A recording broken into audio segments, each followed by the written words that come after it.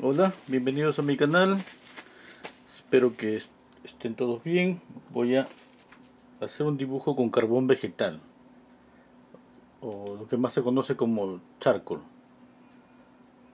Este, tengo pinceles redondos. Uno es número 10, el otro es número 12. Eh, tengo este carbón vegetal, el cual eh, con una cuchilla lo he raspado y tengo un polvo de carbón vegetal y también tengo pastel. Los dos son pasteles este es un poquito más suave que el de aquí pero he hecho lo mismo. Entonces lo que hago agarro un pincel agarro un poquito del carbón, del carbón vegetal charcoal y empiezo a dibujar. Ok un segundo un segundo quiero un segundo solamente quiero ver. Se me movió la foto. Suelo tener la foto al costadito de, mi dibujo. Ok se me movió un poquito. Vamos a ver voy a poner la cara por acá y por acá. La parte de abajo aquí la parte de arriba por acá. Ok más o menos ahí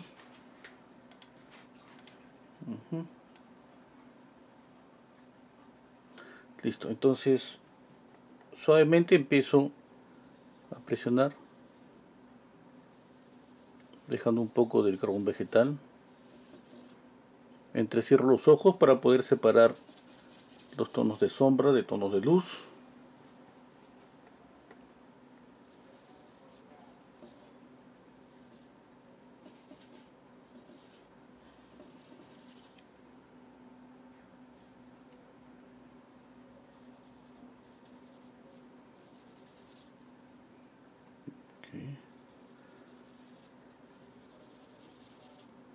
luego voy a usar eh, lápiz.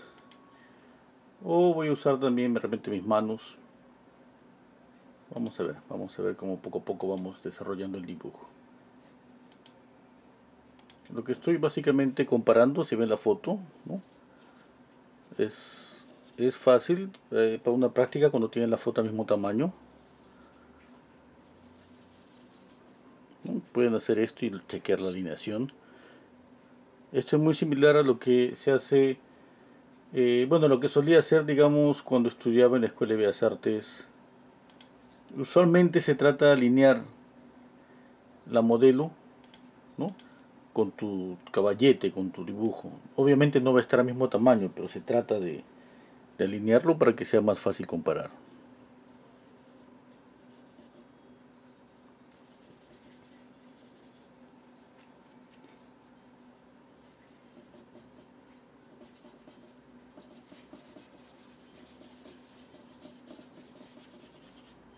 Miren esto, esto es, he tocado el papel con mis manos seguramente.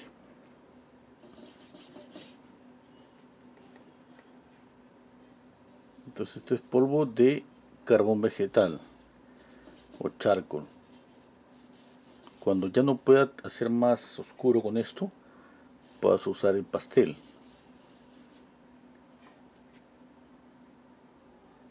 Pueden comprarlo. Esto venden el frascos o pueden simplemente raspar así como yo hago su lápiz o la barrita de carbón vegetal y ya está, tiene para, para trabajar.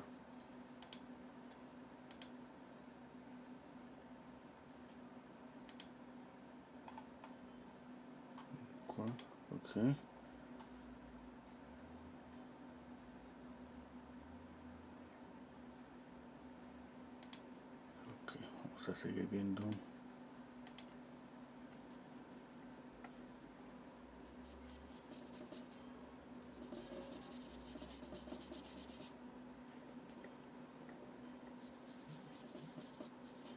Poquito a poco conforme agarro más carbón vegetal obviamente se va haciendo más oscurito esto aquí.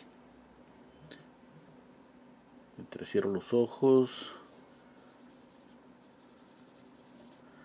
sigo comparando básicamente es formas planas es más fácil pensar por ejemplo este en esta forma que aquí, aquí que hay una especie de triángulo. Ok. Y, o hacer un recorrido en la sombra de la nariz por ejemplo aquí. Moverlo hacia abajo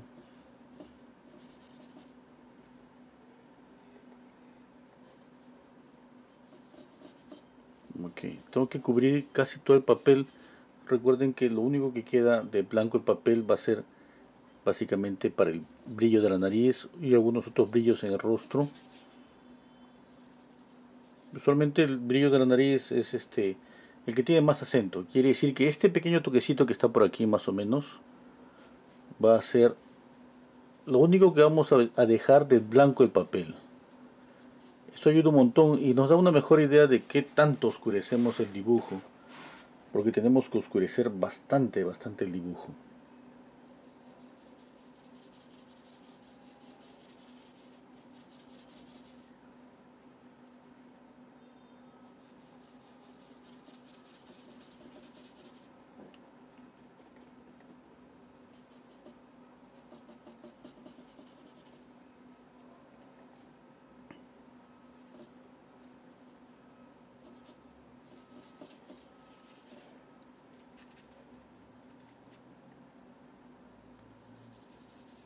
poquito a poco oscurecemos.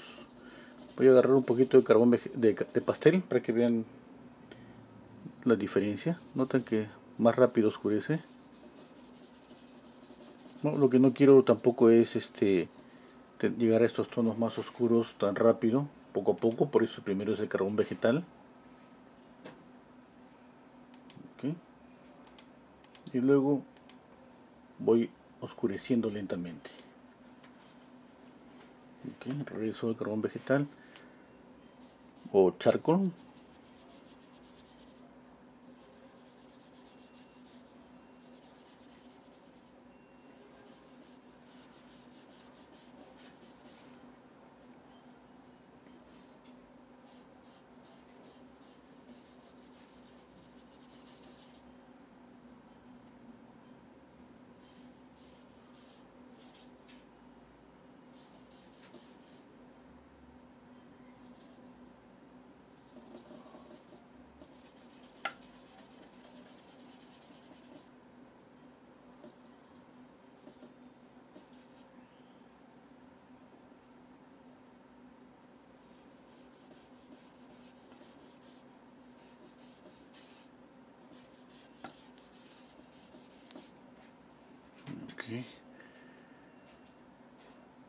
Ahí veo la forma de rostro. Poco a poco, ¿no? Esto es lento. Recién voy casi 10 minutos. Si cierro los ojos veo la misma forma. Eso es lo que, lo que quiero por ahora.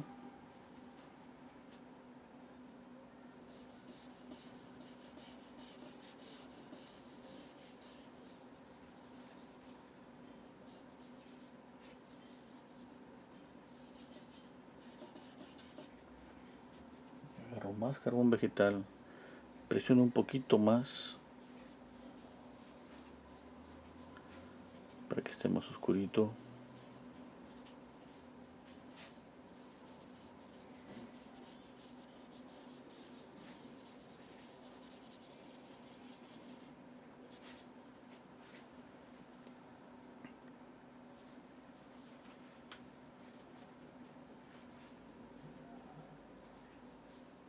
Vamos viendo cómo va saliendo.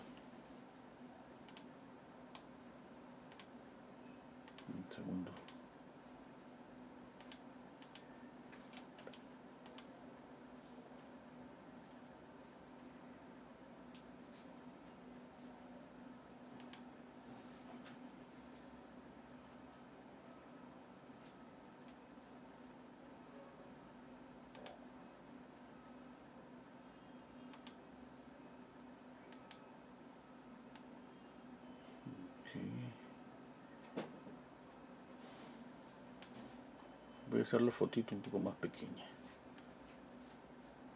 Ahí.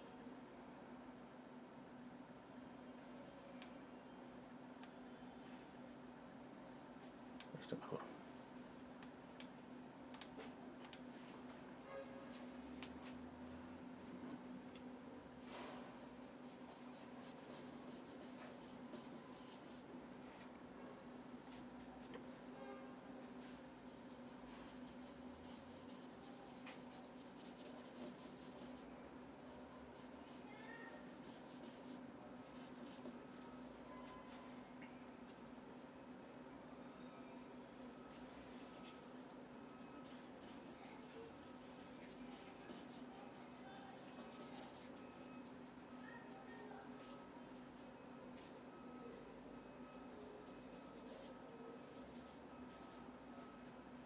Ok, voy a usar ahora un poco de pastel.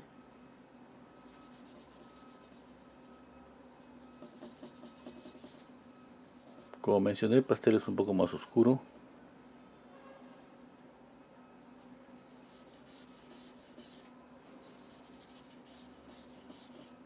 De todas maneras, no, es suficiente trabajar con el pincel para llegar a, los tonos oscuros, oscuros de la foto. No creo que llegue a esos tonos. A menos que use un lápiz encima, pero quiero tratar de terminar mi dibujo sin usar ningún lápiz, solamente usando el pincel.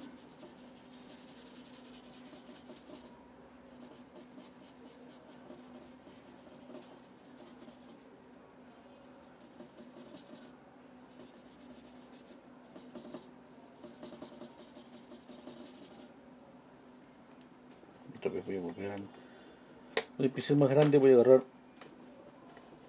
eh, vegetal otra vez quiero oscurecer el fondo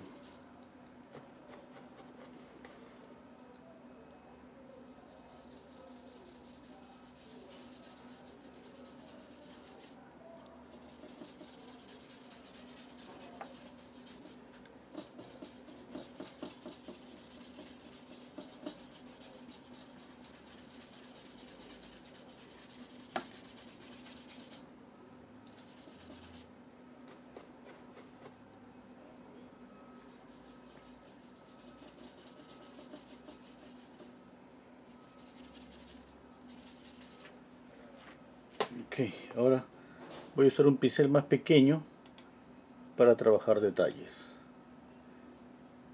O no son obviamente no es para trabajar detalles pequeños, pero para dar un poco más de definición a lo que veo. Okay.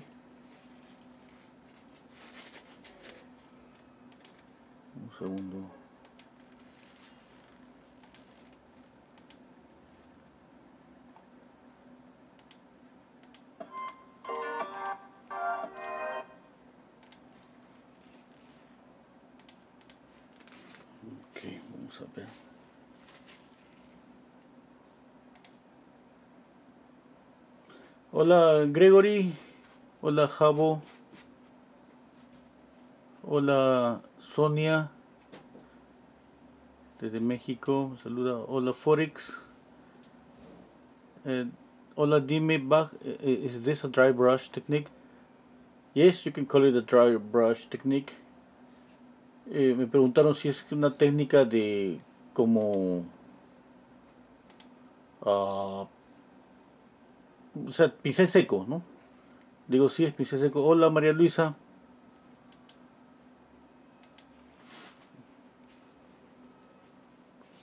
Este, este pincel es un pincel este, con un ángulo así, es un número 6.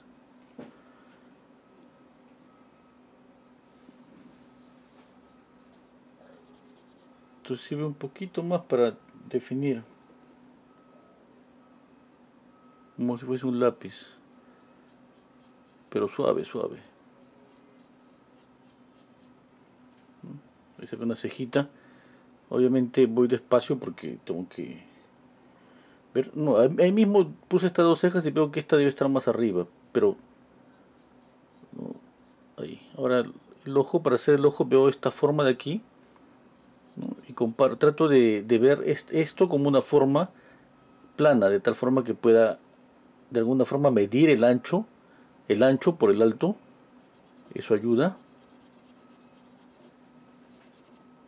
Se ve un poco más definición con este pincel.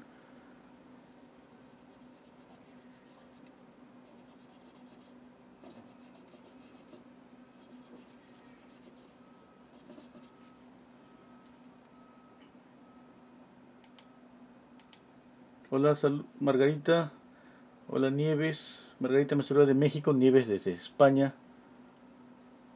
Llores en España, hola María Luisa. ¿Cómo estás María Luisa? De España será qué hora? Pasado medianoche. Hola Game GM. Me saluda también desde México.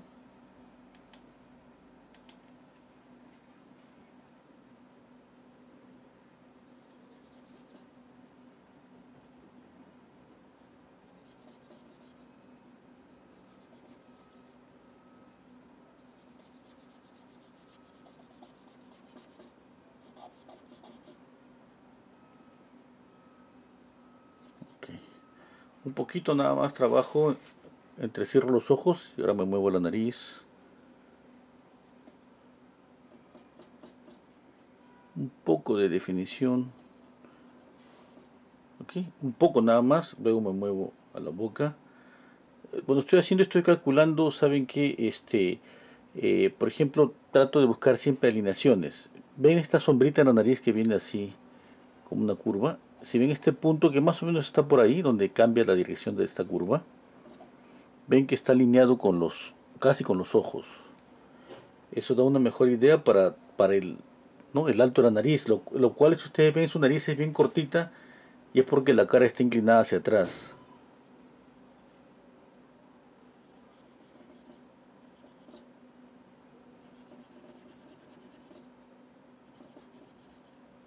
Ahora la boca lo mismo, trato de... A la vez que obviamente tengo la foto a la izquierda y es súper fácil hacer esto aquí y ver la alineación con la foto. ¿no? Pero a la vez tenemos que medir, por ejemplo, el contorno de la boca, la esquina de la boca, alineado hacia arriba con qué, con qué choca, con la mitad del ojo, con el lagrimal. Cada vez que voy a poner alguna parte, estoy revisando alrededor como si fuese un mapa con coordenadas. Hola al punto para la raza desde Estados Unidos. Hola Omar, ¿cómo estás? Desde Argentina, en George Beat. Desde Argentina también me saludan.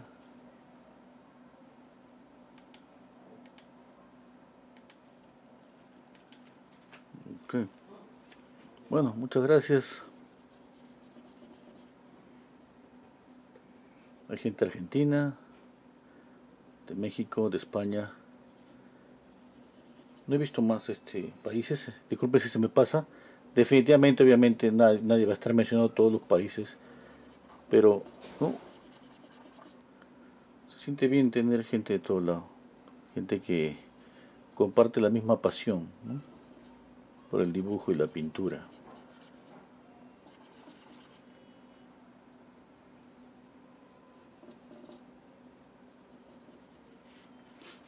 Ok, entonces ahí está teniendo un poquito mejor forma. Un poquito. Ven por ejemplo acá. No está definido el borde, pero me ayuda a ver no que tanto voy a angostar, porque prefiero empezar con la cara un poco más ancha para de ahí eh, ir reduciéndola.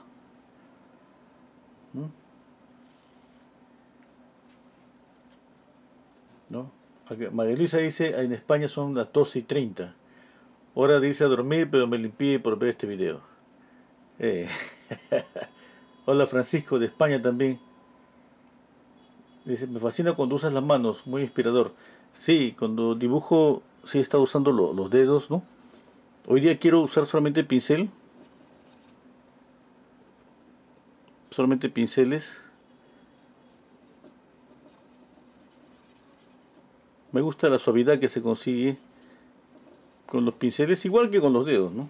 Tampoco no es que, no sé si sea más. Voy a acostar un poquito la cara.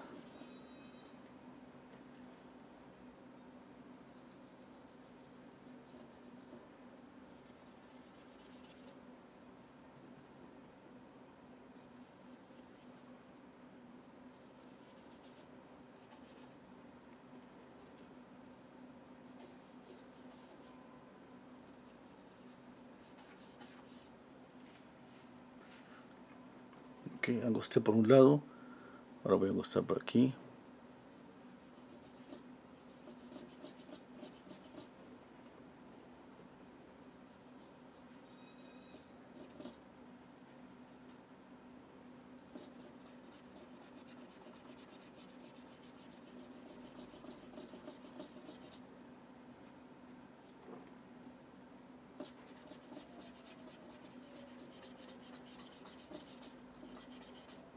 foto la hemos pintado en el grupo de pintura que tenemos todos los miércoles.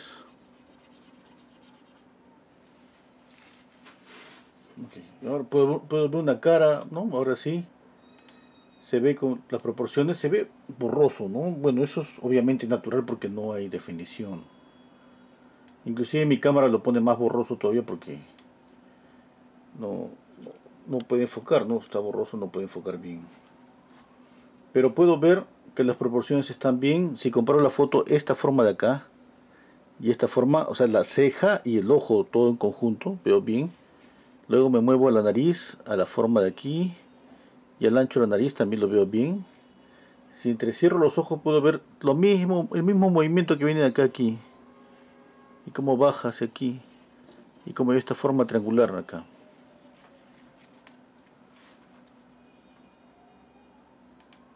Ok.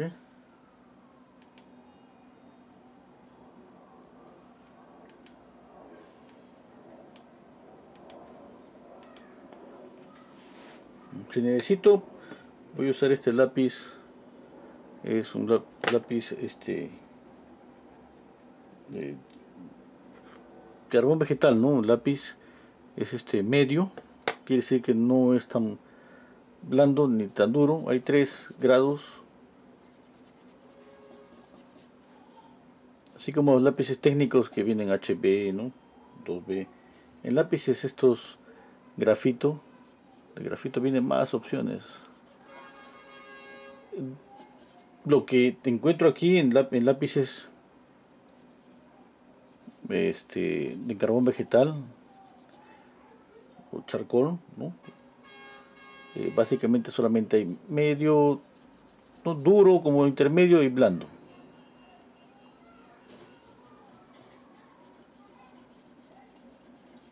Yo tengo dos. Este otro que está. Tengo esto que es blando y tengo que el otro que es medio.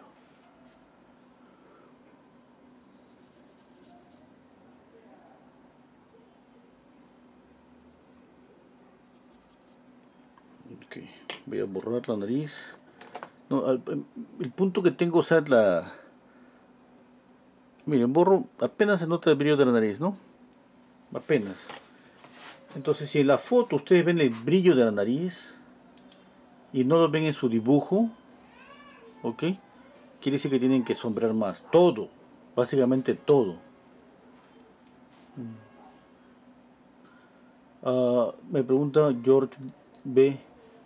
¿Para arrancar siempre conviene usar la técnica de los tercios de Loomis? Sí, sí, sí, sí, súper super bueno, es lo que yo uso todo el tiempo. Sí. Es una combinación, ¿no? Lo que, lo, para dibujar es una combinación entre observación y las medidas, las proporciones. Sirve muy bien el método de Loomis. Yo creo que es lo mejor en, este, en, cuanto a proporciones.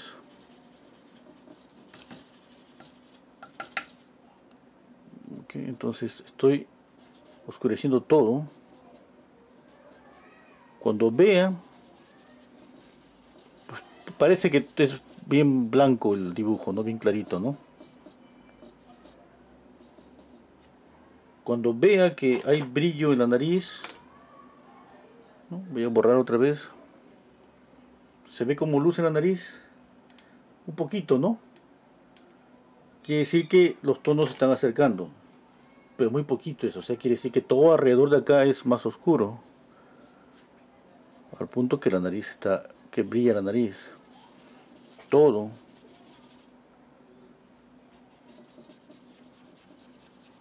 engaña, ¿no? Usualmente cuando uno empieza a dibujar, cuando alguien es un principiante, ¿no? Lo que pasa usualmente es que terminamos con el dibujo muy clarito. Siempre el dibujo es muy clarito. Tenemos muchas áreas de básicamente papel, un montón de papel en el... O sea, todo esto sería básicamente papel, eso lo he visto un montón de veces. Toma un poquito de tiempo eso oscurecer, oscurecer. tenemos miedo siempre a los tonos oscuros. Tenemos, cuando, cuando veamos, ¿no? esa es una buena indicación, para mí eso me ayudó bastante. Y siempre me quedé corto al comienzo porque era como que borraba la nariz y no se veía el brillo. Piensen, piensen esto, este es un valor tonal, es el más clarito que hay, el número uno, el blanco. Si tienen una escala de valores tonales, es bueno tener siempre en la mano una escala de valores tonales, yo la tengo por aquí. ¿Dónde está? Siempre la tengo acá. Un segundo, ¿dónde lo puse?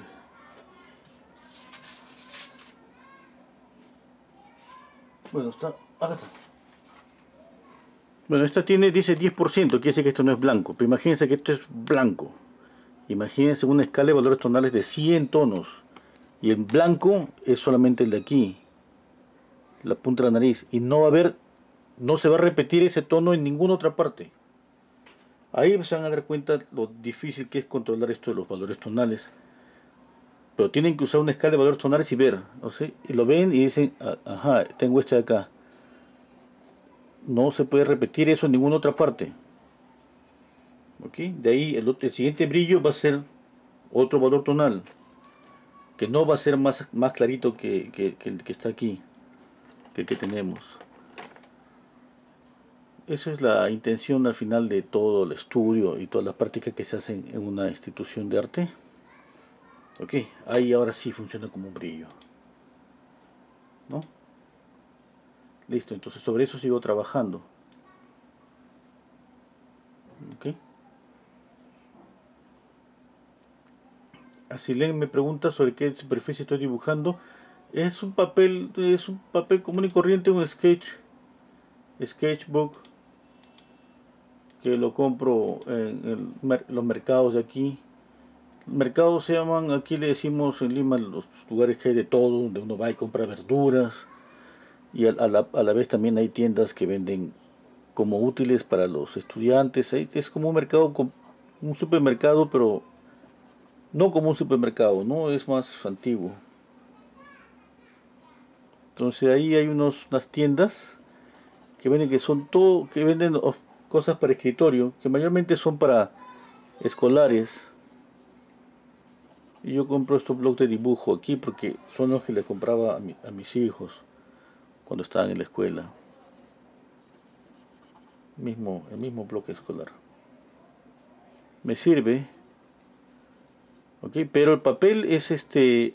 El carbón vegetal es como que va sobre cualquier papel. Porque es muy suave. Pero o sea, prueben distintos papeles, porque eh, nos toca acostumbrarnos, ¿no? A veces nos acostumbramos a un papel. Prueben, prueben. La superficie es importante. Si trabajan con pastel, un papel absorbente es mejor. Mejor que un papel liso. Este es un papel liso. Esto parece papel para imprimir documentos. ¿Ok? Pero este... Más, un poco más grueso. Tiene 150 gramos pero es así de liso como el papel de imprimir documentos. Acá le decimos papel bond.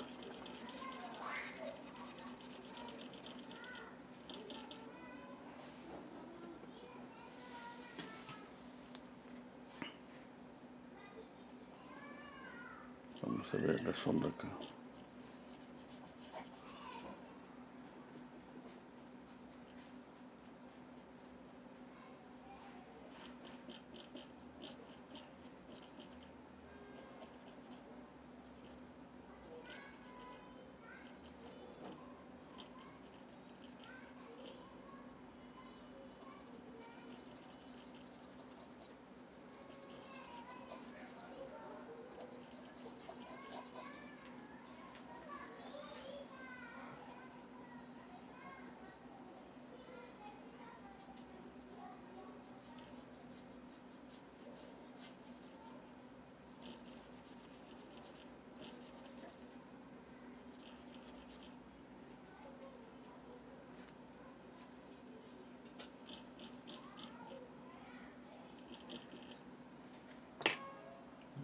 vamos a ver. Francisco Vara Dorado dice, ¿cómo sobrevive un pintor en Lima? Haciendo de todo. Hola Carolina Sol Escobar en Facebook. Este, hay este, pintores que tienen la suerte de, se podría decir, vivir de, de vender su propio trabajo, ¿no? Hay pintores que tienen que enseñar, este, otros que hacen ambas cosas, enseñan, ¿no? Unos que enseñan de manera independiente, otros enseñan en una institución. Están los que viven de eh, hacer eh, o vender pinturas que se podría decir decorativas. Toda pintura es decorativa, ¿no? Pero lo especifican de esa forma en cuestión de que son trabajos un poco más rápidos, es abstractos, ¿no? que solo tienen la intención de venderse casi como al por mayor, digamos. ¿Mm? Entonces, hay algunas personas que vienen aquí, como en todo país creo yo, y compran pinturas ¿no? para, para Estados Unidos o para otros países, buscando un precio económico acá. ¿no? Este, todavía antes me acuerdo cuando era estudiante, veía unos talleres de pintura que estaban en el centro de la ciudad, por donde uno tenía que pasar obligadamente. Estoy hablando hace 30 años atrás. Y se veían ahí este por las ventanas que habían pero como 100, 200 pinturas. Hasta que conocí un amigo que me dijo que trabajó en uno de esos estudios y me dice que pintaba ahí todo el día casi, con más pintores. ¿no? Este, vendían cada fin de mes aparecía alguien que usualmente era de Estados Unidos y se compraba como 100 cuadros se los llevaba. Para negociarlo, ¿no? El precio era barato, pero así de un día a otro el taller quedaba vacío y yo otra vez empezaba a producir. Y luego este, lo que pasa es que también en ese tiempo el, mercado de las pinturas de, China no estaba tan, tan grande, digamos. Luego apareció los, ¿no? el mercado chino y esos talleres desaparecieron. ¿no? Entonces los pintores pues se pusieron a hacer su propio trabajo o enseñar o buscar otras formas. A menos los pintores que trabajaban ahí.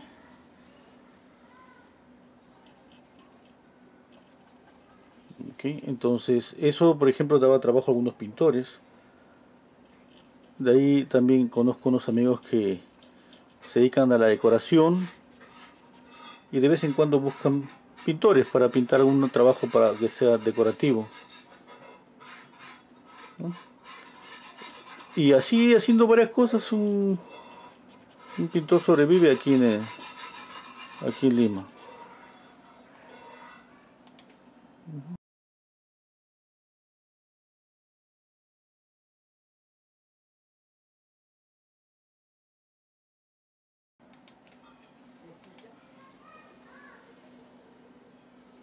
Así que si me preguntas, supongo que vives en Lima y supongo que eres un pintor, supongo que si preguntas eso eres joven y estás este, viendo qué posibilidades hay para ti. ¿no? La verdad que es, cada, el camino que escoge cada uno es difícil, ¿no? Unos tienen la ilusión de ser artistas famosos desde que entran a estudiar. Pues, bueno, así es, así es la cosa, ¿no? Otros tienen, creo que son más realistas en cuanto a lo que quieren y desde que empiezan a estudiar se preparan para ser profesores.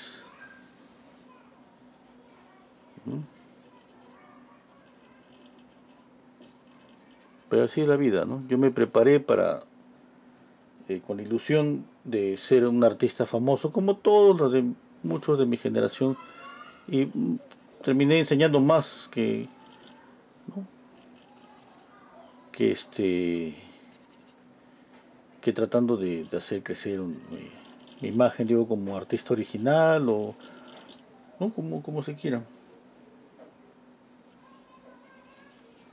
el mercado del arte en, el Perú es bastante pequeño y este no sé a veces este siendo profesor una vez se me ocurrió decirle pensé no lo hice eh, porque trabajé de profesor en una escuela de Bellas Artes aquí, en provincia, por un año. Y siempre pensaba, ¿no? Ves a los, a los jóvenes preparándose, con mucha inspiración, dibujando todo, pero es como que, no sé, daba la gana de decir, mira, ve, no vas a vivir solamente la pintura, o sea, vas a tener que prepararte para hacer varias cosas. Para ser profesor, para, no sé, hacer pintura decorativa, ¿no? que ni tu firma va a llevar, solamente va a ser para que quede bien, una mueble, con, vaya un juego con unos muebles y tratar obviamente de vender tus propias pinturas.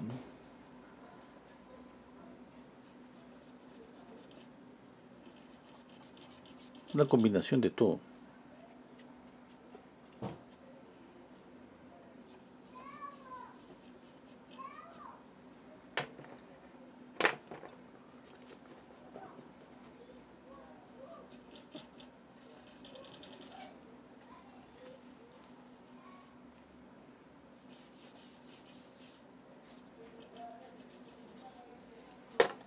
Qué, vamos a ver qué tan oscuro está.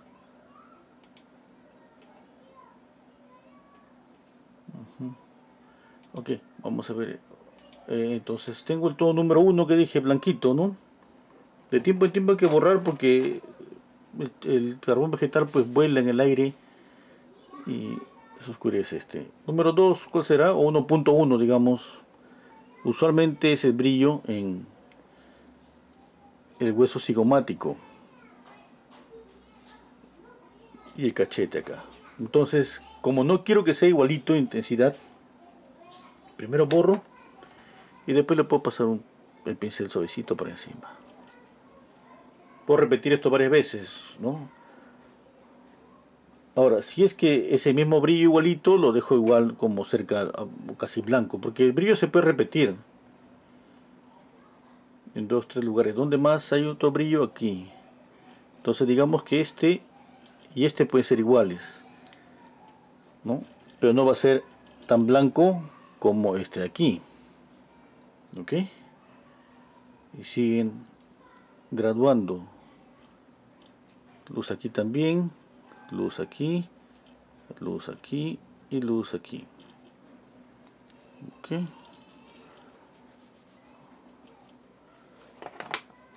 Entonces tenemos, vamos a decir, este es el valor tonal 1, este es el 1.1, 1.2, 1.3. ¿Ok? veces con la intención de crear redondez. Vamos para el lado oscuro, lo mismo. ¿no? Obviamente hay más valores tonales, hay un montón. Hay muchos, hay que estar siempre controlando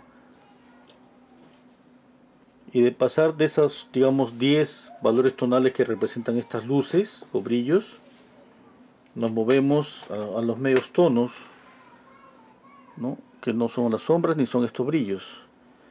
Y luego nos movemos a las sombras. Si entrecierro los ojos veo claramente que esto es oscuro, oscuro, oscuro. ¿Ok? Quiere decir que esa parte es básicamente, va a estar mis tonos más oscuros de rostro ahí acá. Los ojos obviamente son más oscuros y el cabello es, básicamente sombra, sombra, ¿no? Y obviamente por el color del cabello que es oscuro. ¿Qué más? Es, uno sigue buscando, ¿no? Este, usualmente este, se usa mucho la, una forma primaria para entender el sombreado de, de un objeto. De una forma primaria eh, este, para que representa un rostro de la mejor manera es una esfera. Hay formas, formas primarias planas y tridimensionales. Planas es un cuadrado, un triángulo, un rectángulo. Tridimensionales, el cuadrado pasa a ser un cubo, el círculo pasa a ser una esfera. ¿Mm?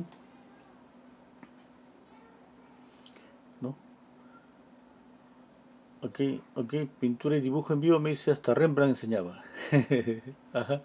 María Luisa dice, yo he comprado a unos rusos que venían a los institutos de enseñanza a vender sus obras a los profesores. Se iban muy felices por las ventas. Mira, ve que bueno. Así es.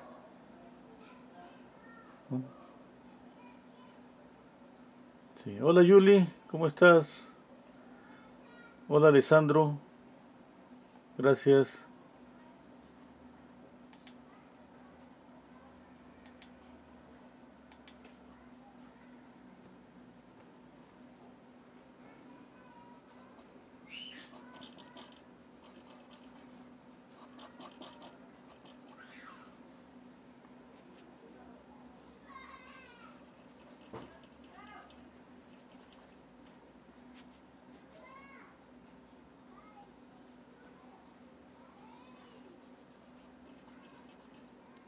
Ok, Ahora, otra cosa aquí, los tonos que están aquí en la luz que refleja. Nunca ningún tono de esta luz reflejada es igual a, los tonos claros de la parte iluminada. Hay excepciones, obviamente. cuando Cuando la luz reflejada pues es muy fuerte o proviene de otra fuente de luz que golpea muy fuerte.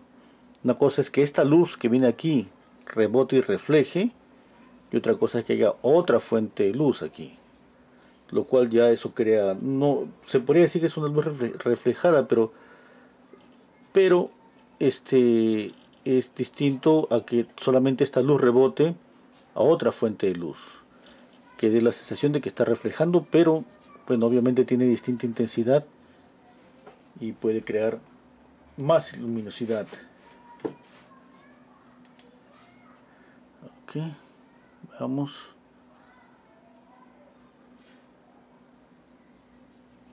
Lo que me gusta del trabajo de pincel es la suavidad que, deja. Esto borroso, esa suavidad es súper importante.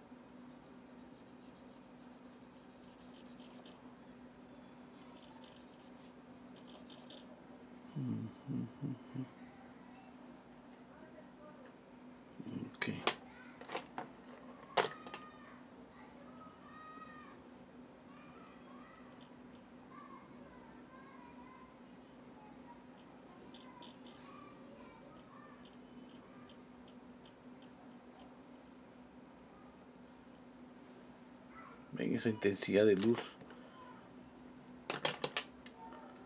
Es muy fuerte. Es bonito, como que da ganas de mantener eso, pero es muy fuerte, ¿no? Eh, los valores tonales, el orden en los valores tonales es lo más importante.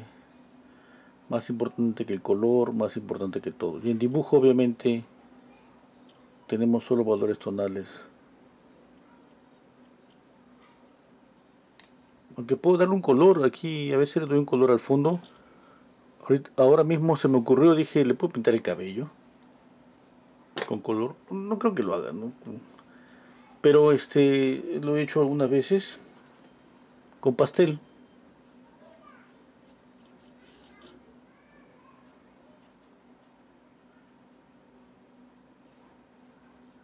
Prefiero mantener, miren, esta, esto puede ser curvo, pero estoy manteniendo líneas rectas es más fácil dibujar con líneas rectas y ya luego se da, se da este, forma.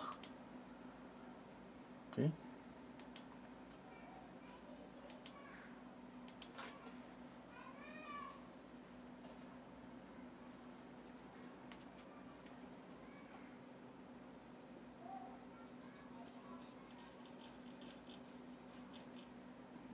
poquito a poco.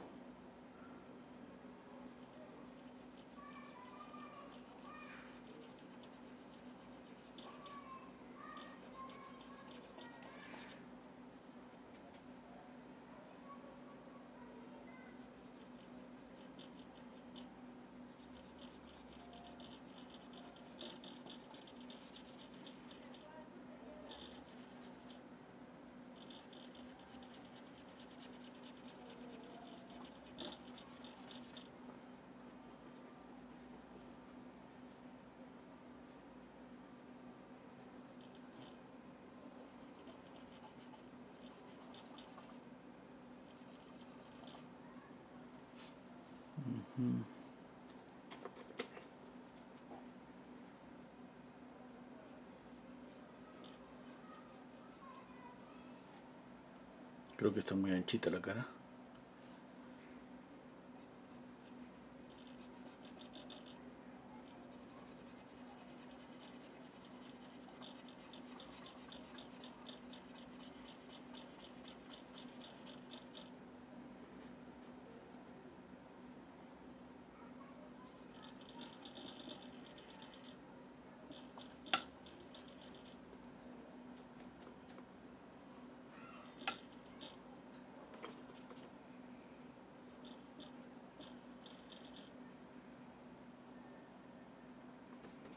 Cada vez si pienso más veo más ancha la cara o el mentón está muy corto.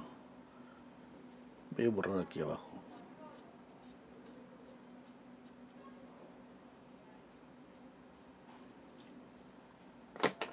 Luego agarro el pincel y suavizo aquí.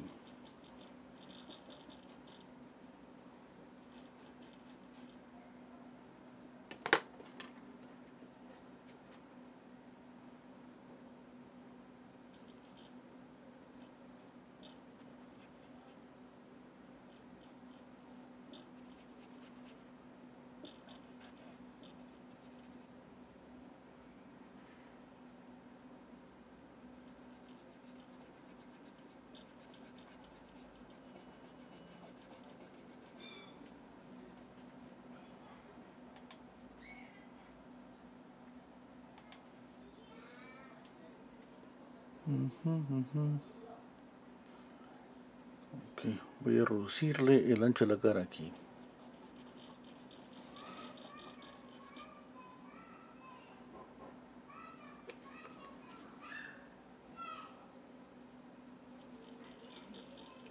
Más. Ok. Ahora voy a usar el lápiz quiero darle más definición al ojo.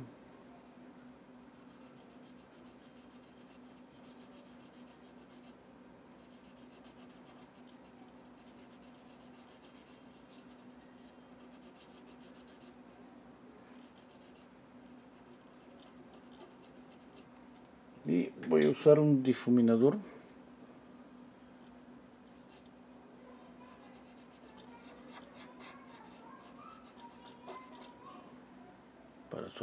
ok. Otra vez poco a poco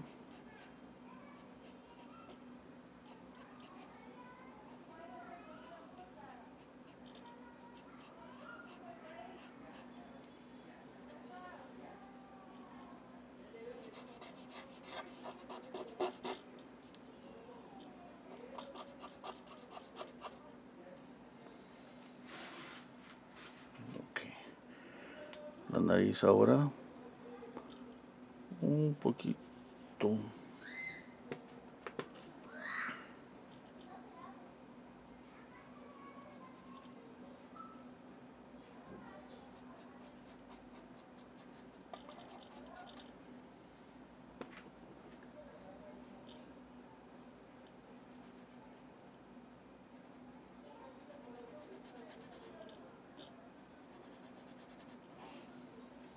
a poco.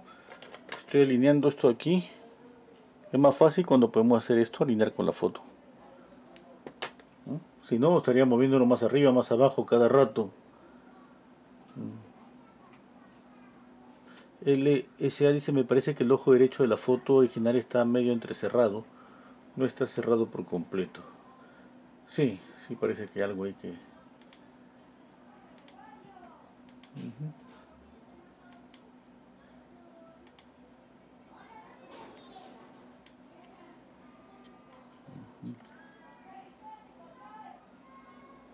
hay algo que está mal aquí. O es este cachete que más arriba o este más abajo o la cara me salió torcida.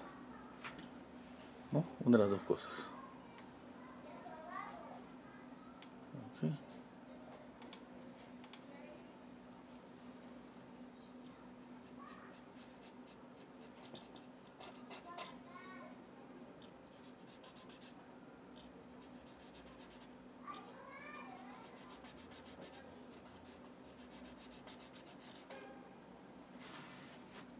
más arribita, un poquito más arribita. Un poquito más ancho.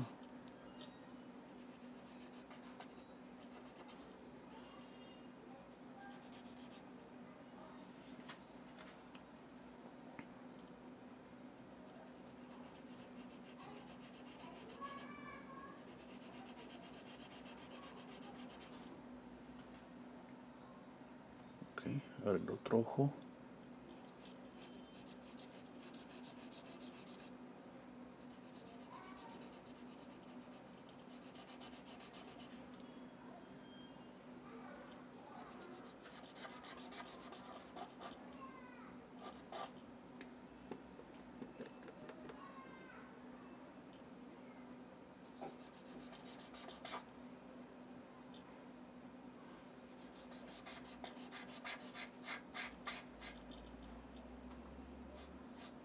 más arriba, creo más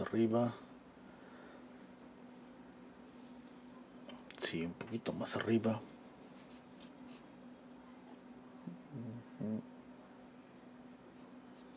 Más, más, más, más, más. Ajá.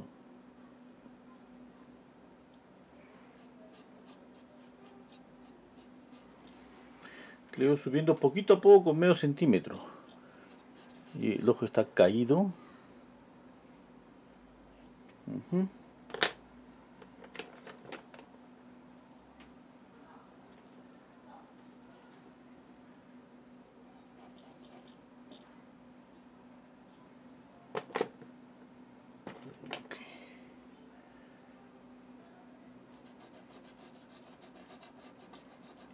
Este, este pastel es más oscuro.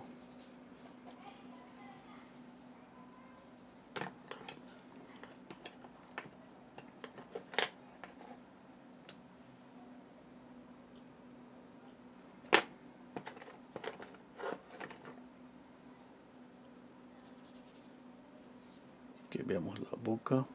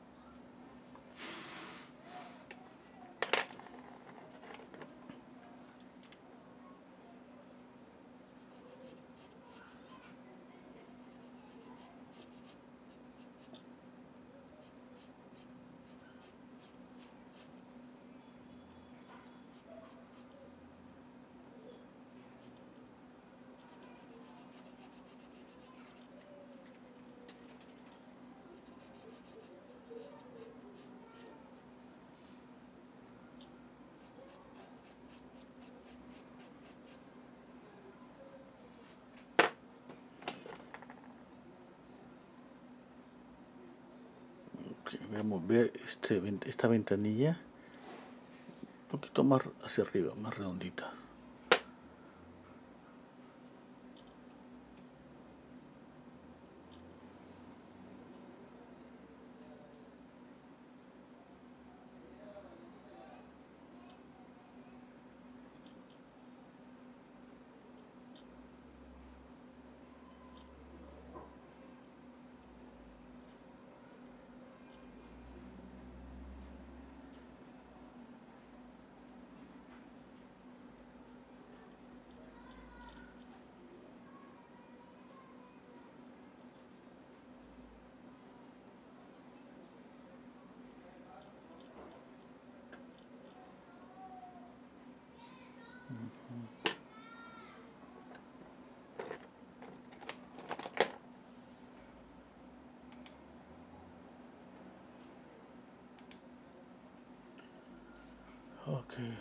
Ah, Francisco Para me dice, con las manos realizaste un gran trabajo, me sorprendió esa técnica.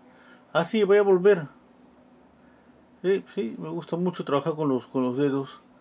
Ahora estoy probando con pinceles. Hola André. Muchas gracias. Hola Betina.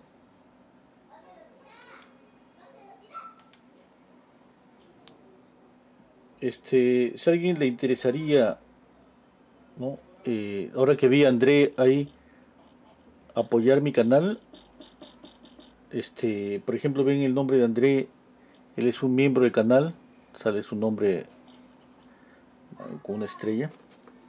Cuando son miembros del canal, significa que hacen un pago mensual, que puede ser un solo mes, no puede ser más. Tienen acceso a unas clases grabadas que tengo, que son de mis clases que tengo los miércoles. Habrá tres videos al momento, cada mes subo un nuevo video. ¿no? Llevan tres meses que he empezado esto de los miembros del canal, así que van tres videos. En una semana subo el video de agosto. Este y nada más, ¿no? Y sale y sale el nombre remarcado y obviamente los comentarios que hagan los que son miembros del canal tienen prioridad para mí y pueden hacer todas las preguntas que quieran. Que hay lo mejor por responder y estar atento que no se pasen. En caso en algún momento pues que haya más público, a los que les doy prioridad son a los que son miembros del canal. Pero solamente hay tiempo, no solamente hay tiempo para responder a todos. Pero digo, ¿no? En todo caso. Eso es para, para eso, es este ser miembro del canal para tener algunas, este, algunos beneficios. ¿no?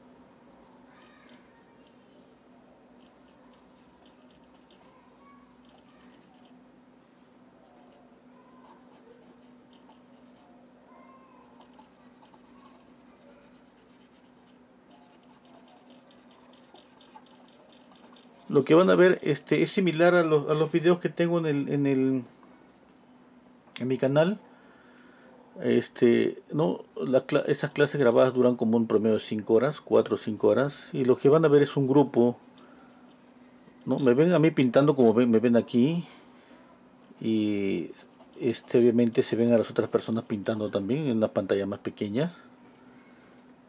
Y se, se ve la crítica hacia las pinturas crítica que hago ¿no? de rato en rato. Y tenemos esas sesiones todos los miércoles, son de pintura al óleo. Pensando que en algún momento pueda ser uno de dibujo. Pero vamos a ver. Al momento tengo bastantes grupos de pintura. Entonces, como que tiempo, tiempo libre no queda, pero voy a, estoy, estoy pensando en eso.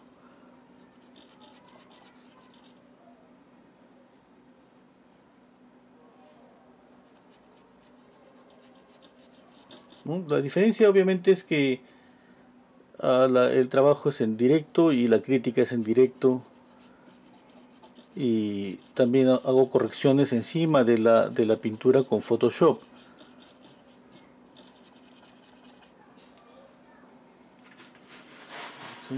Vamos a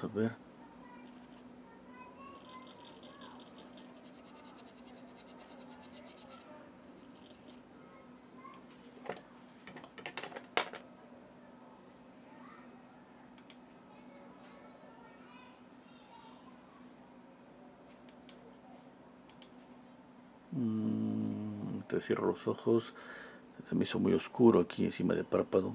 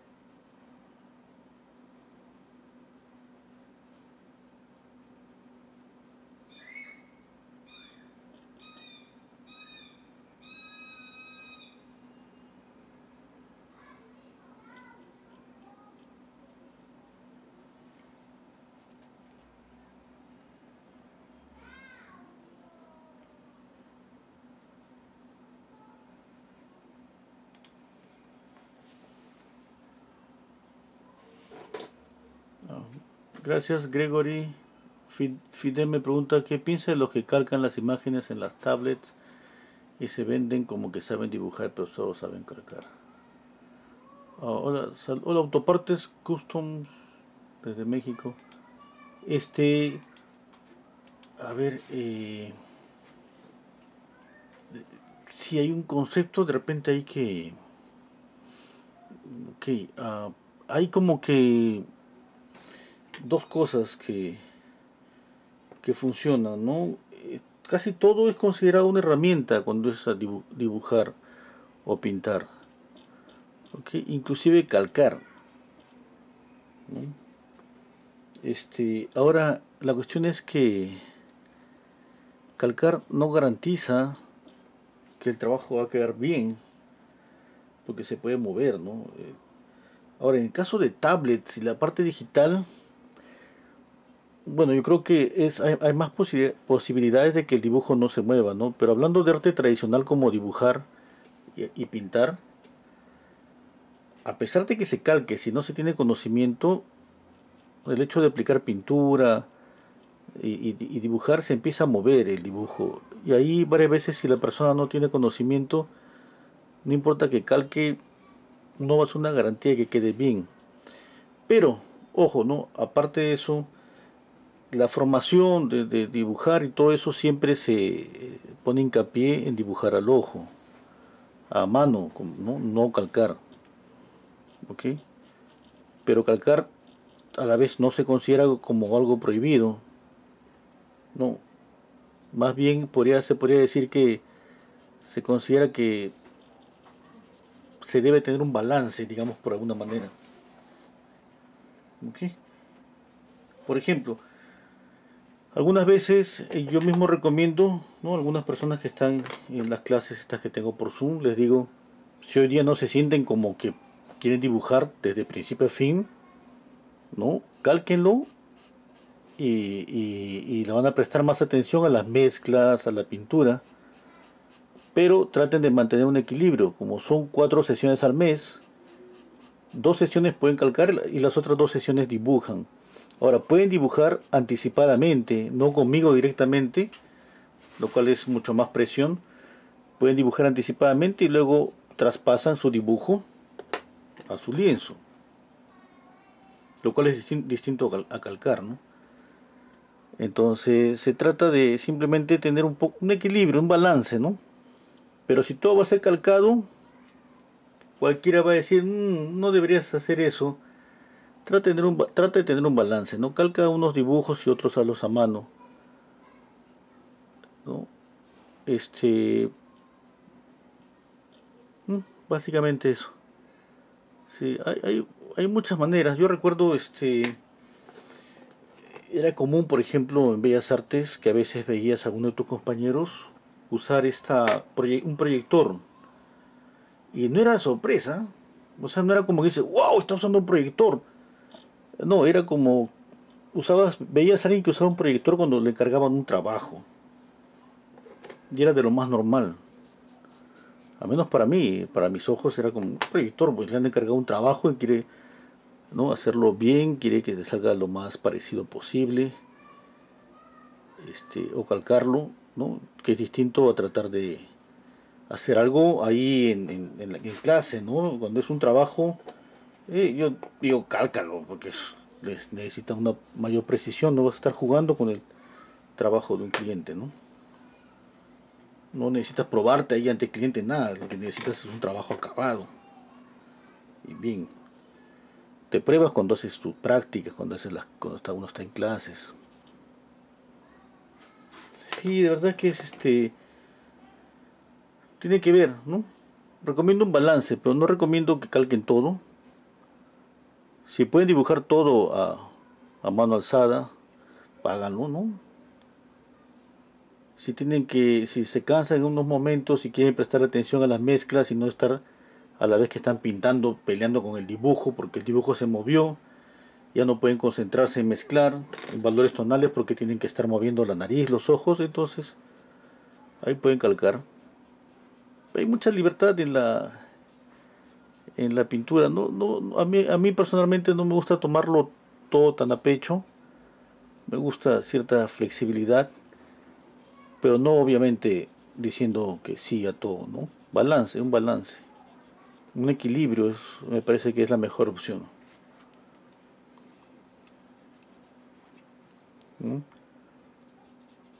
Ahora es común que escuche uno o vea unas personas que calcan y a pesar de eso no les queda bien el dibujo o la pintura. Ojo, este, eso significa que las habilidades para dibujar se, tienen que mejorar, se tiene que practicar bien. El calcado no está ayudando ahí, no va a ayudar cuando algo se mueve. ¿no?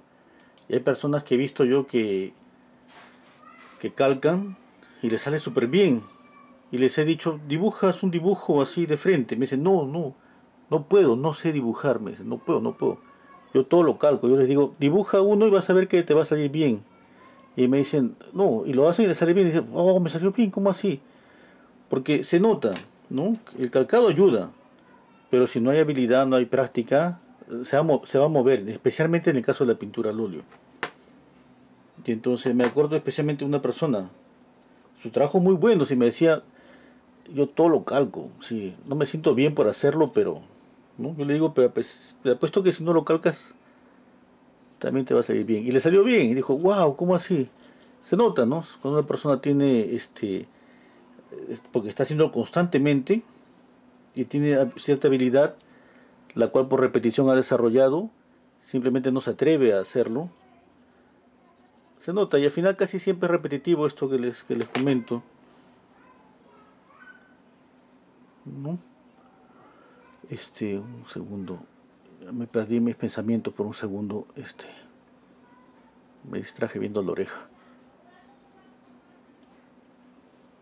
Pero hasta todos somos libres de pensar lo que, querramos al final. No tienen, no tienen que compartir mi opinión, ¿no? Si prefieren pensar de que no, no, no acepto ningún trabajo que sea calcado, perfecto, ¿no? Cada uno es libre de aceptar lo que uno quiera, no hay ningún problema. El arte siempre es este, bastante libre. Al menos yo no me estreso en esa parte. ¿eh? esa parte mía es también. Ahora he visto que hay pintores que se estresan mucho en función de que, por ejemplo, en pintura, casi siempre, no usa ese color negro. Bueno, no para nada, no, que negro no, no es color, no, bueno Está bien, pero no funciona. Está bien, cada uno tiene su opinión respecto a todo. Y toda opinión vale, ¿no? En mi caso, por ejemplo, no es que el color negro no, no sirva, sino que simplemente es, es un color difícil de dominar. Y se, se, restringe su uso en la persona que estaba empezando a pintar. ¿Por qué? Porque se, se termina asociando como que con el negro voy a oscurecer todo y con el blanco voy a aclarar todo. Y no es así, ¿no? Se tiene que aprender un poquito de teoría del color, colores complementarios y todo eso para entender cómo aclarar y oscurecer los colores sin necesidad de ser negro. ¿No? Para aclarar blanco obviamente sí, ¿no? Porque qué más claro que, que blanco, ¿no? La otra forma de aclarar o crear la ilusión de eso, de luminosidad, es aplicar contraste.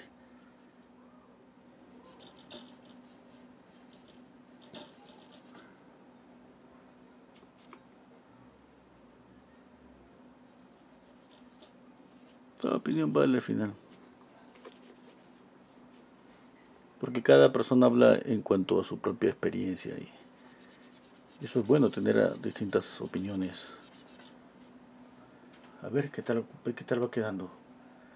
Me gusta, todavía creo que está ancha la cara, ¿no? Creo que ya tiene una curva acá. Que no, es, no, no, no me ha salido bien esa curva aquí. Así. Ahí está, ahora sí. ¿Eh? las cejas más gruesas parece. Pero las puedo dejar así. Todavía puedo ver la diferencia en los valores tonales. Todavía sigue siendo la nariz aquí lo más clarito que hay. A ver voy a acercarme. Si sí, notan, notan diferencia en valor tonal entre la nariz y la luz que está aquí o las luces de aquí y de aquí. Si hay diferencia está bien. Vamos bien por ejemplo, no van a hacer esta luz aquí así tan clarita como la luz de la nariz. Eso sería un error. Y si lo ven así, este, ahí les diría no confíen en sus ojos, confíen en las reglas de volumen. ¿no? en cómo se logra tridimensionalidad usando luces en medios tonos y sombras y que no las luces no deben competir entre sí tiene que haber un orden, un rango y siempre cuando uno habla de por eso cuando uno habla de esta cosita aquí trata de explicar de que esto es muy simple digamos porque es muy pequeña no esto pero imagínense una de 100 tonos o de 1000 tonos. Cada pequeña parte va a tener uno de esos tonos. Para eso es útil la escala de valores tonales para entender de que todos los tonos están repartidos en ese rostro esa es la parte difícil, difícil de la pintura, pero bueno, es así. Y del dibujo, ¿no? A ver. Uh, ¿Qué tan importante es considera la musculatura de la cara? ¿O eso solo para cuando hay expresiones? No, no, la anatomía sirve sí o sí para todo, para todo. Uh, más, este, más digamos, este, la estructura ósea, lo que más se ve. Por ejemplo, este bultito aquí y aquí es la estructura ósea, ¿no? La frente más es la estructura ósea.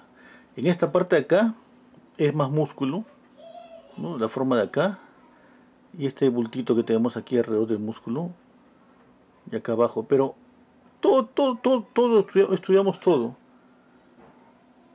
Todo sirve. Gregorio dice, siempre me dediqué a paisajes, a poco me ha venido ganas sobre retratos. ¿Ok? Los de acrílico, para usted, ¿cuál sería la mejor forma de iniciar el retrato? Saludos desde Brasil la mejor forma de iniciar un retrato. Uy, esa pregunta, esa pregunta abarca mucho. ¿Qué te diría? Mira uno de los videos y trate de seguirlo. Porque trato de ir simple, despacio. Pero la, la forma que siempre digo primero es medir proporciones. Método Loomis, ¿no? Es lo que ayuda un montón.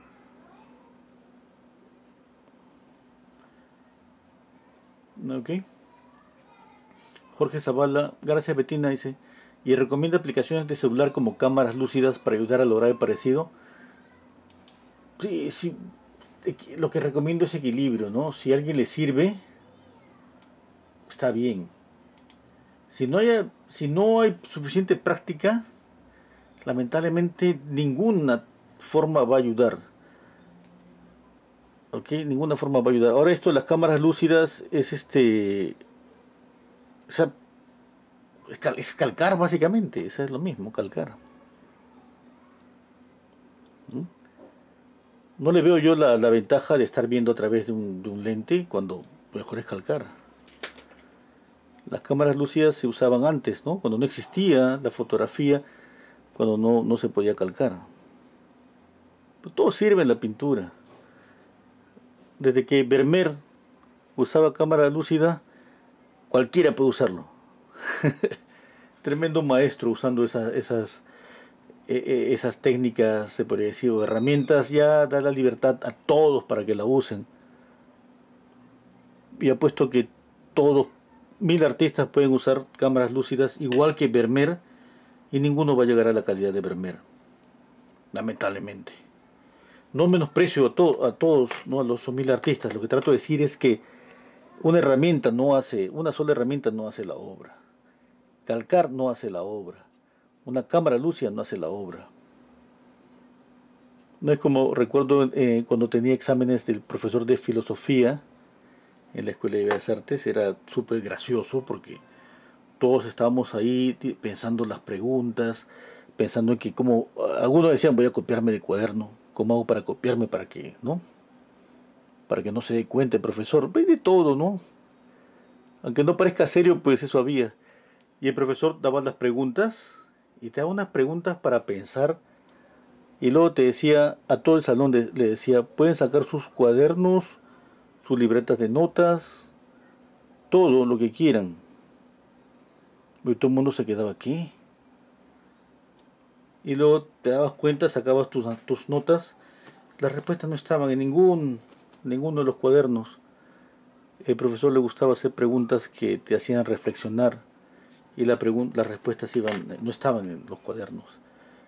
Era como que analizar una situación, ya ni recuerdo bien, pero era súper gracioso porque el hecho de que te dijera, saquen sus cuadernos, revisen todo lo que sea, te dejaba como desarmado, como que dice ya, no tengo ninguna herramienta, no puedo usar nada, no tengo nada. ¿No? Ninguna herramienta sirve.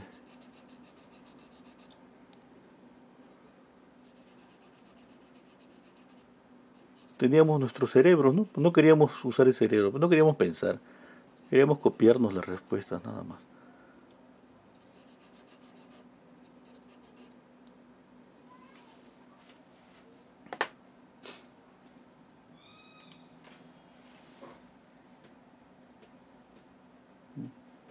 Betina dice, y la cuadrícula también sirve.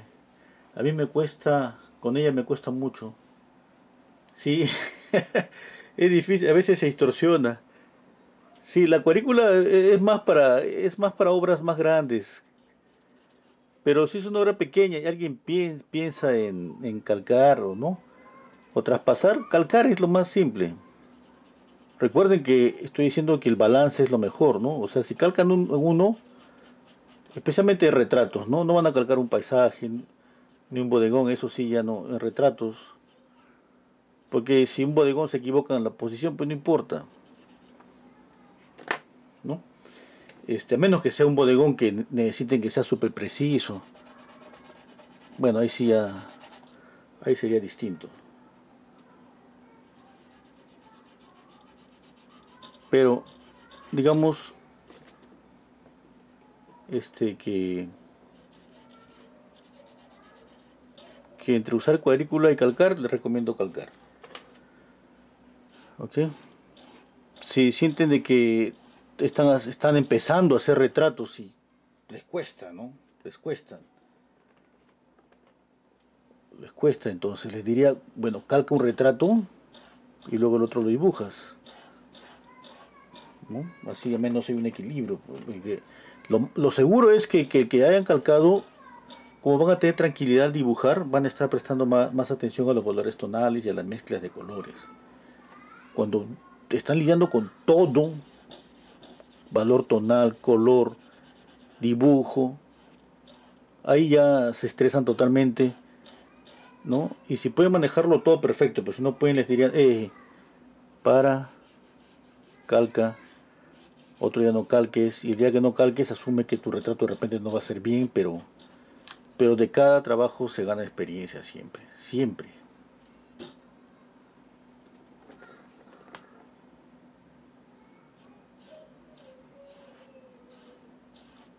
Opinión, no tiene que hacerme caso. Es más, no me hagan caso.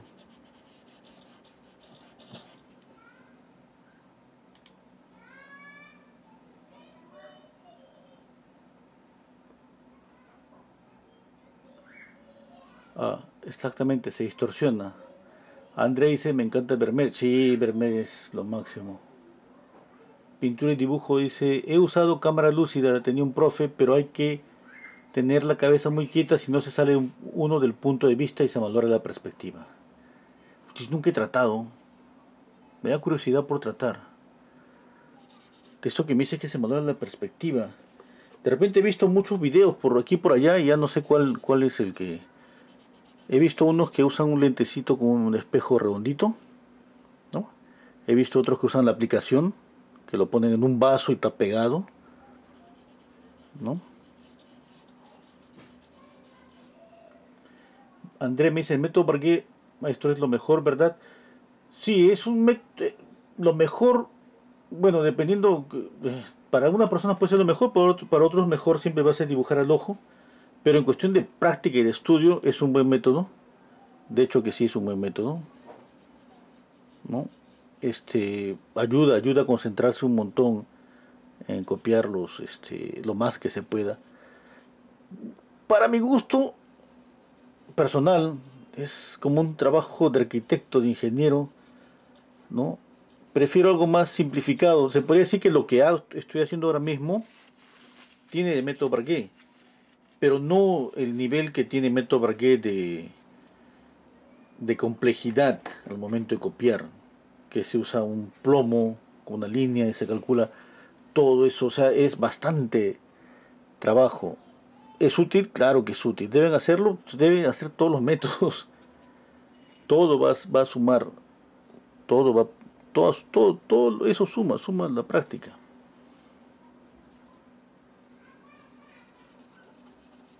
No es como que dice buscar el método perfecto, no, es una combinación.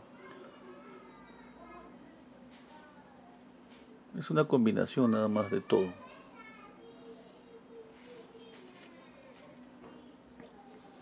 Al final los pintores usan una combinación también de todo. Y casi siempre va lo mismo, ¿no? Simplificación al inicio, este comparación y lo más difícil de, de contener, de, obtener en un punto los valores tonales. ¿No? Yo puedo tener, yo puedo calcar el dibujo, puedo calcarlo, puedo usar una, una, una, cámara lúcida, ¿ok? Pero si hago más luz aquí, luz y más sombra acá, puedo hacer que esta parte parezca más redondeada y esta parte también. Y esta parte si le pongo sombra aquí, una sombra acá, y mato el brillo y le pongo sombra acá, puedo hacer que parezca más delgada y esta parte hinchada, sin mover el dibujo. Y entonces, ¿eso creen que altere parecido? Claro que lo altera. Y si lo altera, ¿qué pasó? ¿Dónde está la, el dibujo, la cámara lúcida, todo lo demás, y el calcar y cuadrícula y todo lo demás? Van a darse cuenta que nada sirve. Y lamentablemente los valores tonales no los podemos calcar. Ni con nada. Los valores tonales son pura práctica. Pura práctica. O sea, no hay manera, nada va a calcar, a copiar los valores tonales. ¿no? De repente, todo va a ayudar, pero calcarlo... Mm.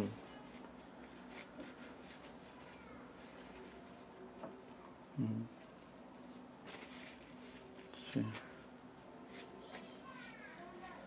Ah, dice pintura y dibujo en vivo, dice está hablando de cámaras lúcidas aquí, está comentando de que si es que mueves la cabeza, cuando estás usando una cámara lúcida, el dibujo se mueve. O sea, no entiendo, tienes que tener los ojos quietos en un solo punto, sin mover la cabeza, solamente los ojos. Bueno, voy a revisar más. Dice la cabellera de Berenice, estoy haciendo un retrato a lápices y quería preguntarle sobre los fondos Gracias, Betina. Sobre los fondos. A ver, ¿cómo te puedo ayudar? Ok. Piensa en una cosa. El fondo lo puedes usar para crear contraste. ¿Ok? Cuando hablo de contraste, se habla de contraste de color, contraste de valor tonal. ¿no?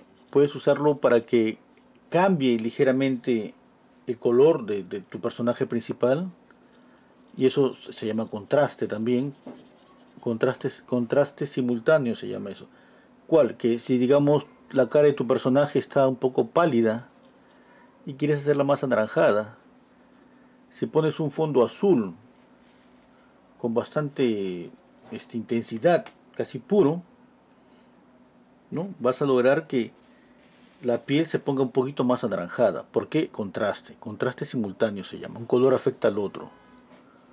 Un fondo azul va a hacer que el color de la piel se ponga más anaranjada. Eso tiene que estudiarlo para dominarlo. ¿Ok? Cuando hablo contraste color y contraste valor tonal es esto. Imagínate blanco y negro. Blanco y negro es contraste de valor tonal, ¿sí o no? Luz y sombra. Si en vez de blanco y negro pones negro y amarillo, contraste valor tonal también porque el amarillo es claro, ¿sí o no? Pero el amarillo es color. Entonces ya no es contraste de solamente luz y sombra, es color. Y si el negro pasa a ser azul, ya es contraste completo de valor tonal y color. Ok, sumado a eso, el amarillo es grisa, sigue siendo contraste, pero esta es un color apagado y uno más fuerte. Uno más saturado y uno desaturado entonces el contraste se mueve en ese espectro. Imagínense el color en el espacio, moviéndose a grisarse, a saturarse, aclararse, a oscurecerse, a moverse cerca de otro color como si fueran planetas en el espacio. Se mueve cerca al rojo, un anaranjado que se mueve cerca al rojo, se mueve cerca al azul, se acerca y se aleja. Y cada vez que se acerca y se aleja un color, cambia de color. Entonces, es como todas esas cositas sirven para tratar de alguna manera imaginarse qué color vamos a usar. Pero lamentablemente con palabras es un poquito difícil hacer la explicación completa. Lo lamento. Este, estoy tratando de mantener la suavidad aquí. Ven este contorno y esto borroso, como desenfocado. Y la boca está un poquito más enfocada. ¿Ok? Pero, por ejemplo, la boca está más enfocada en el medio. Pero aquí en el borde de la boca está borroso. ¿Ok? Eso mantiene, trato de mantener con eso la idea de que la boca está no es plana, está volteando hacia aquí. Lo mismo, si ven esta parte acá, es como si estuviesen viendo algo borroso.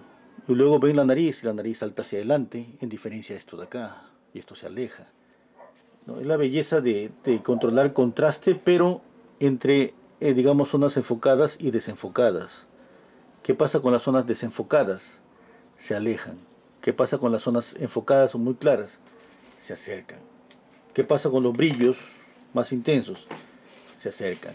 ¿Qué pasa con los brillos menos intensos? Se alejan. Y usando todas esas cositas tratamos de lograr volumen, tridimensionalidad. De lo que más deberían preocuparse, ¿no? digamos, van a tener pasos en los que tengan que preocuparse. Primero, el dibujo, ¿no? Estructura y dibujar y dibujar y dibujar. ¿Ok? Eventualmente haciendo retratos por repetición van a lograr mejorar. Es inevitable, practican y mejoran. Es inevitable eso. Ok. Luego de que el dibujo está bien, pasamos a color, digamos. El color mejora, pero ese color no mejora porque no hay control de valor tonal. Y el valor tonal, lamentablemente, es, va a ser posiblemente lo que más les tome controlar. Inclusive más que el dibujo. ¿no? es así, ¿qué, voy a hacer? Me parece que es así a mí, basado en mi experiencia. ¿no? Y por eso digo, ahí está la cosa fregada, porque ahí sí ya no hay cámara lúcida, ni, ni cuadrícula, ni calcar, ni nada. El valor tonal es lo que más cuesta y ahí están solos en eso. Observación y entender la forma que trabajan.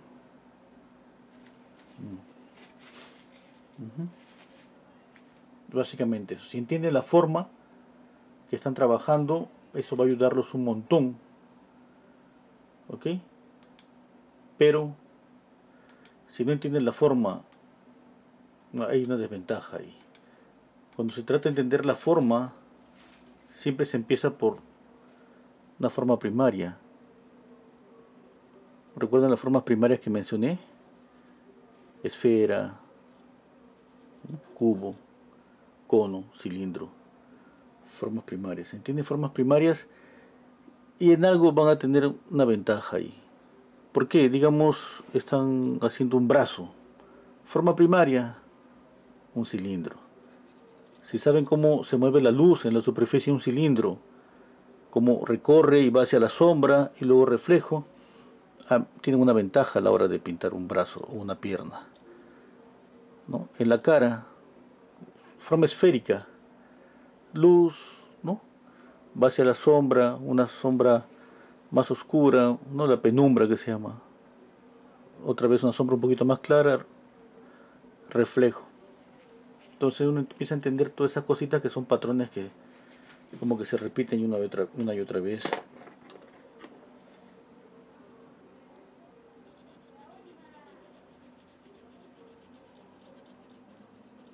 ¿Cuánto voy?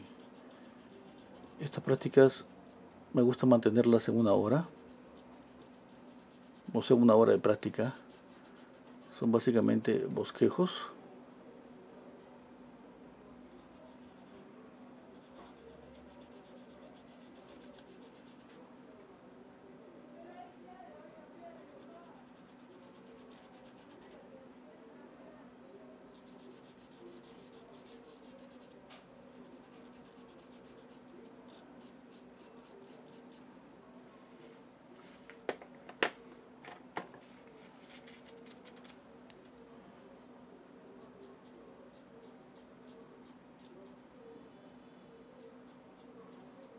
Estoy como borrando, ¿no? que estoy como levantando.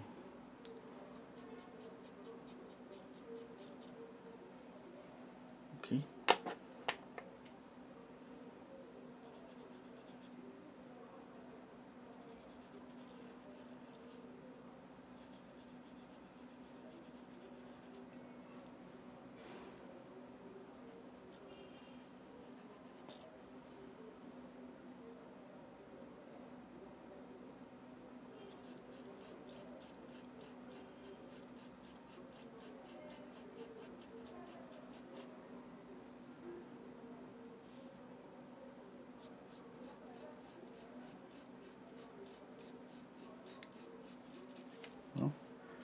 Lo que tienen que saber es que tiene una ventaja por encima de, de ir a una escuela de arte. ¿Sabes cuál es la ventaja? Es que me tienen a mí.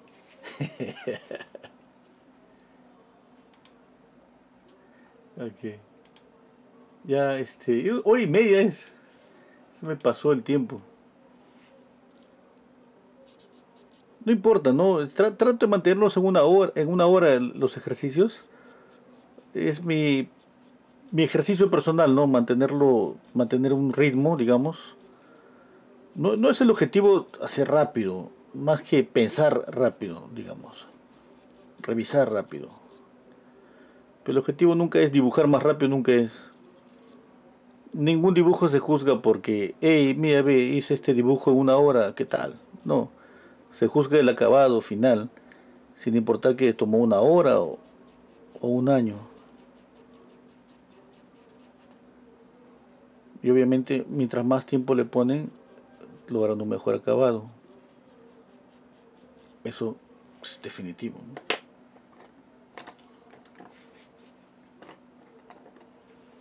Creo que ahí lo dejo.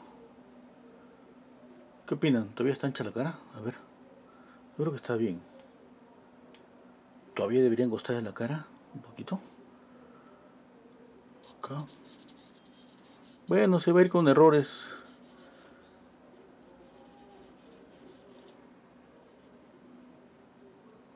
Pero así es, pues. Bueno, he tratado de mantener una suavidad en la foto. Esta parte de acá que salga más cerquita hacia adelante y que los costados se aleje y mantenga como un aire, que exista un aire alrededor que se sienta que es algo tridimensional, no plano. Para eso ayudan los contornos borrosos. ¿Ok? Eso ayuda porque crea una sensación de que desenfocado, movimiento, aire. Eso es perfecto. Pueden terminar su dibujo con estos lápices, este, ¿cómo se llaman estos? Grafitos o mates, que son muy buenos si quieren, van, a, van a ver, notar un pequeño brillo de todas maneras. ¿no? Ahora estoy sacrificando unos detalles. No hay nada en el ojo, si ven acá. No hay nada en este ojo tampoco. ¿no? Ya no creo que... Ahí nomás una insinuación. Ah, no hay mucho detalle en el borde de la boca acá, ni acá. Para la oreja, de repente un poquito de detalle voy a poner acá.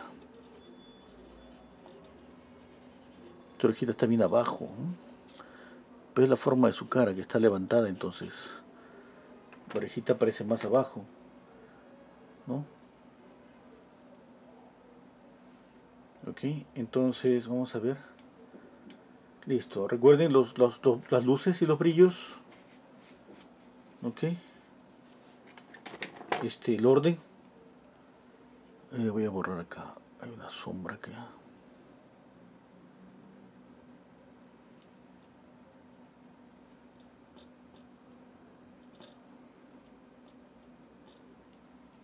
¿Sigue viendo más brillo en la punta de la nariz? Creo que sí, ¿no? Hay que limpiarlo de rato en ratito. Si se les pasa, digamos, el tono, como que se oscureció y no pueden borrarlo, tengan a la mano este tiza, pastel, pastel, pastel pero blanco, entonces con eso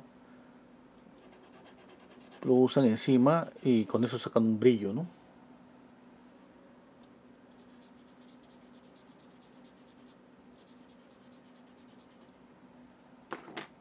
hay un brillo en el labio okay, vamos a probar acá. Este es ese pastel. Acá digamos. Notan no sé si notan ese pedacito que brilla. Lo ven ese pedacito es tiza pastel. Bonito es trabajar con, con el pincel miren esa suavidad que da. ¿no? y los y cuando uno borra con este este tipo da otra, otra, otra, otra, otra suavidad también, ¿no? Ok. Bueno, eso es todo. Espero que les haya gustado. Este. Eh, bueno, eh, nos vemos en el próximo directo. Los videos se quedan acá en YouTube para que los vuelvan a, ver todas las veces que quieran. No recuerden darle me gusta. Ok. Este, gracias LSA, gracias Cristian. Uh, gracias André. André está promocionando la membresía de mi canal. Gracias María Luisa. Margarita. Aarón dice, maestro, ¿qué ejercicio recomienda para mejorar en el retrato? Este, recomiendo hay unas cabezas que son facetadas, que son hechas de bloques. Eso sería una recomendación. ¿no? De repente otro día me pregunto lo mismo y recomiendo otra cosa. Tampoco no hay muchas variaciones, ¿no? Pero eso, eso por ejemplo, enseña los planos de la, de la cara. ¿no? De ahí otra, otro dibujar la, la, calavera, que también, ¿no? Para los huesos. Este, de los métodos, si no tienen para copiar así, del método más simple y, súper efectivo es el método Loomis. Y el libro de Loomis está pues ahí afuera en internet gratis por todo lado, ¿no? Y le sirve muy bien porque e, es, método Loomis les enseña a dibujar una cara de memoria. Al final lo que, lo que es una combinación cuando somos mejores dibujando o pintando es que nuestra memoria está mejor. Porque recuerden, ¿no? Pintamos o dibujamos lo que vemos y lo que conocemos. Y cuando el artista llega a un nivel ya que quiere cambiar, es cuando se completa la frase y se dice, pintamos lo que vemos, pintamos lo que conocemos y pintamos lo que queremos ver. El artista que está en ese nivel que quiere cambiar es el que pinta lo que quiere, lo que quiere ver, lo que hace cambios para que sea más artístico, para agregar movimiento, para lo que sea. ¿no? obviamente no todos son así, otros van al camino al hiperrealismo, a, dibujar como una foto. Está perfecto, todos los caminos son, están buenos. Todos los, caminos son buenos. Bueno, se cuidan. No se olviden de apretar el botón de me gusta y suscribirse al canal. ¿No? Alguien me dijo aquí que era nuevo el canal. Ah, Betina, yo te acabo de descubrir, dice. Gracias. Cuídense mucho. Este mes voy a estar dibujando. Ella va al cuarto dibujo, tercer dibujo. Hola Magdalena. ¿No? Este. El próximo toca pintura, creo, ¿no? Una pinturita. De repente sigo dibujando. Vamos a ver. Se cuidan mucho. Muchas gracias por estar aquí. Nos vemos la próxima semana. Lamentablemente no tengo un horario específico. Pero bueno, nos vemos. Cuídense mucho. Gracias.